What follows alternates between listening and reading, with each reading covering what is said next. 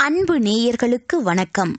வாழ்வை வளமாக்கும் விநாயகர் வழிபாடு பற்றி இன்றைய பதிவில் நாம் காண்போம். எந்த ஒரு செயலை தொடங்கினாலும் பிள்ளையாரை வணங்கிய பிறகு அந்த செயலில் நல்ல வெற்றி கிடைக்கும் என்பது அனுபவ ரீதியான திடமான நம்பிக்கை. பிள்ளையார் வழிபாடு மிகவும் எளிமையானது. கல் மண் மரம் செம்பு முதலியவற்றால் இறைவனின் திருவுருவங்களை செய்ய வேண்டும் என்று ஆகமங்கள் கூறுகின்றன.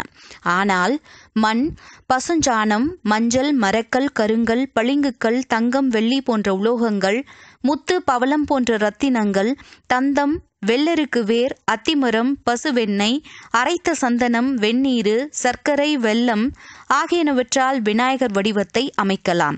நமது தேவைக்கேற்றபடி பலவிதமான பொருட்களால் ஆவாகனம் செய்து வழிபட்டு அதற்கான பலன்களை நாம் பெற்றுக்கொள்ளலாம் மஞ்சள் பிள்ளையார்.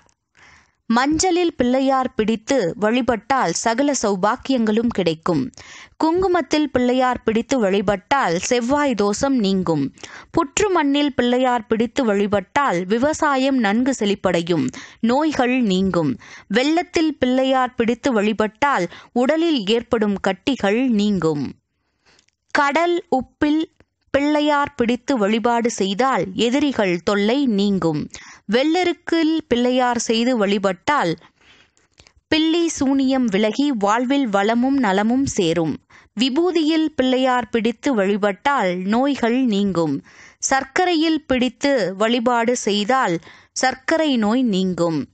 பசுமாட்டு சாணத்தில் பிள்ளையார் பிடித்து வழிபட்டால் குடும்பம் ஒற்றுமையாக இருக்கும். வியாபாரம் விருத்தியாகும்.